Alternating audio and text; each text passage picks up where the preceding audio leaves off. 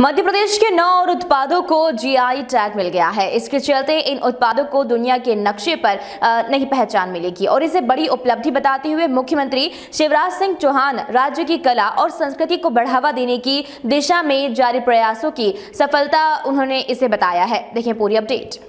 CM Shivraj Singh Chouhan ने मध्य प्रदेश के इतिहास में पहली बार बड़ी संख्या में जीआई टैग मिलने पर प्रदेशवासियों को बधाई और शुभकामनाएँ दी है। मुख्यमंत्री शिवराज सिंह चौहान ने ट्वीट कर कहा कि रीवा के आम की खुशबू, मरेड़ा की गजक की मिठास, शरबती गेहूँ का स्वाद, ग्वालियर के कालीन, उज्जैन का बाटिक प्रिंट डिंडोरी की गोंड पेंटिंग और सुंदर कलाकारी से युक्त रॉट आयरन क्राफ्ट जबलपुर का स्टोन क्राफ्ट जो पत्थरों में जान फूक दे ये सब अब दुनिया के नक्शे में है। उन्होंने कहा कि अब जीआई टैग वाले कुल उन्नीस उत्पाद मध्य प्रदेश में हो गए हैं। मुख्यमंत्री चौहान ने कहा कि मध्य प्रदेश अपनी कला संस्कृति को समेटे हुए आगे बढ़ रहा है।